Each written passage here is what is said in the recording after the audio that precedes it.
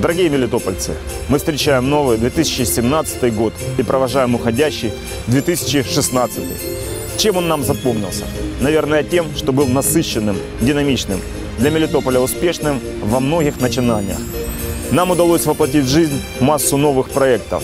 Это и создание комфортных условий для жизни горожан, и благоустройство улиц, дворов, модернизация учреждений бюджетной сферы и в первую очередь школ и больниц. Мы развивали не только инфраструктуру, но и свой культурный и духовный потенциал. Противостояли трудностям, спорили и учились быть толерантными. Радовались и поддерживали друг друга в трудные минуты. И все это мы делали вместе, ведь мы одна большая семья, жители одного города. Я благодарю каждого из вас за любовь и преданность нашему родному Мелитополю. Уверен, Новый год принесет нам много хорошего, особенно если мы вместе приложим к этому усилия.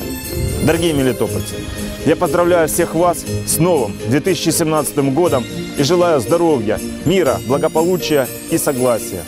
Пусть исполнятся все мечты, а задуманные планы станут реальностью. С Новым годом и Рождеством Христовым! Thank you.